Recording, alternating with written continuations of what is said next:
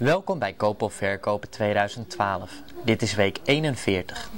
Met nog een kleine 12 handelsweken te gaan ligt de portefeuille goed op schema om de AIX-index te verslaan. Het rendement staat nu namelijk op 6,21%, terwijl de AIX-index in dezelfde periode op een winst van 5,52% staat. Randstad en de obligatielening zijn de twee grote winnaars van deze week, met winsten van bijna 400 euro. De Turbo Long op DSM is de grootste verliespositie binnen de portefeuille. De gast van deze week is Jochem Baalman van Indexus Groep. Bedankt voor de uitnodiging. Altijd goed om bij belegger.nl te zijn. Ik maak daar graag tijd voor vrij. Ik heb naar de portefeuille gekeken. Uh, het is een portefeuille van een offensieve belegger. Met als doel om de AEX-index te verslaan. En ik zou in deze portefeuille graag wat, uh, wat meer assets toevoegen. Wat meer spreiding. Wanneer ik naar de portefeuille kijk, ik heb hem geanalyseerd. En dan kom ik het aandeel Unilever tegen met een uh, turbo long. Die zou ik graag willen verkopen. Uh, de markten lijken wat te stabiliseren. Uh, klaar te stomen voor hogere koersen. En een aandeel als Unilever zal dan hoogstwaarschijnlijk niet, niet mee gaan stijgen, omdat het toch een defensieve waarde is.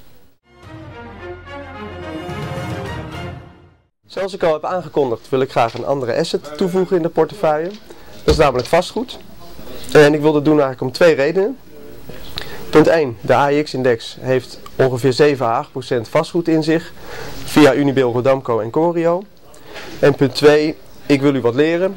Namelijk, uh, er is heel veel ellende in niet beursgenoteerde vastgoedbeleggingen via obligaties met vaste looptijden of cv's. Men kan er niet uit. Uh, de hoofdsom terugkrijgen is maar de vraag en de couponnen ontvangen is, uh, ja, is een groot vraagteken. Je kunt ook via een trekker beleggen in vastgoed. Wij kiezen vandaag voor de uh, trekker van Lixor, genoteerd in Parijs, op het wereldwijde vastgoed. Wat we zien is toch een soort van st stabilisatie wereldwijd in, uh, in vastgoed, met name in Amerika. De prijzen stijgen daar weer licht.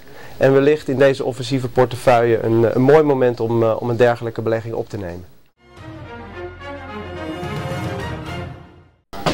We gaan nu naar de portefeuille om eerst de verkooptransactie door te voeren.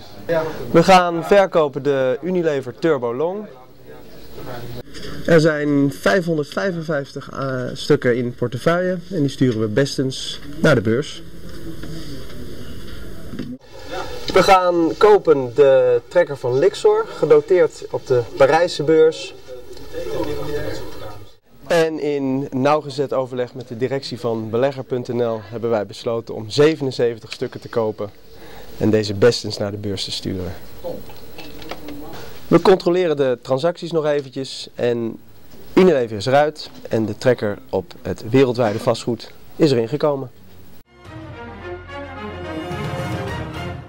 Meer informatie over de koop- of verkopenportefeuille? Ga dan naar www.belegger.nl slash kopenverkopen.html. Via deze link kunt u zich ook aanmelden voor onze e-mailalert. U ontvangt dan een mail zodra er een nieuwe aflevering van Koop of Verkopen verschijnt. Volgende week vrijdag zijn we er weer. Prettige handelsdagen.